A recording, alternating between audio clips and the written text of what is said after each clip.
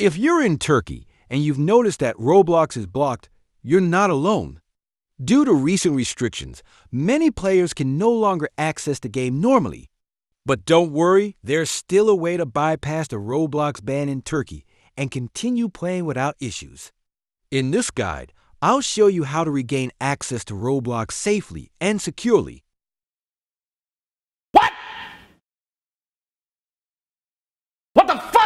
More than 95% of viewers aren't subscribed. So if you find this guide helpful, hit that subscribe button and help the channel grow.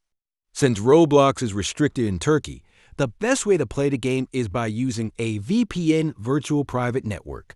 A VPN allows you to change your IP address and connect to Roblox as if you were in another country.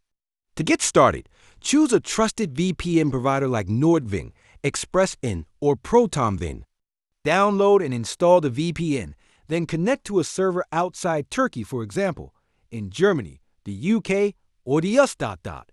Once the VPN is active, open Roblox as usual. The game should now load without any restrictions. If you experience lag or slower speeds, try switching to a closer server or using a high-speed VPN provider.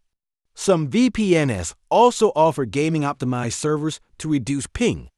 For mobile users, most VPN apps are available on the Google Play Store and Apple App Store. Simply install the app, connect to a server, and launch Roblox if you're using a school or public Wi Fi that blocks Roblox, you can also try using a DNS changer like 1.1.1 by Cloudflare or Google's 8.8.8.8 DNS to bypass restrictions. This method is not as effective as a VPN, but may work in some cases.